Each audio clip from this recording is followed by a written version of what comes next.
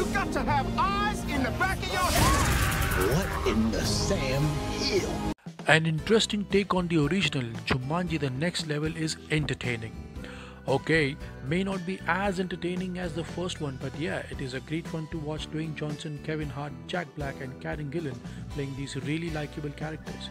Real delight is Jack Black, he's the best in the movie.